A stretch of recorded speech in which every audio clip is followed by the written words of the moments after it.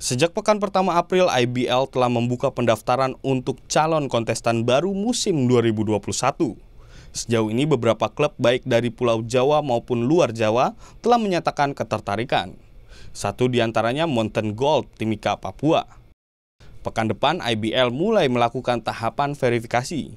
Selain mengecek kelengkapan berkas, tim verifikasi IBL yang dikepalai Rufiana juga memastikan komitmen tim dalam mengikuti kompetisi.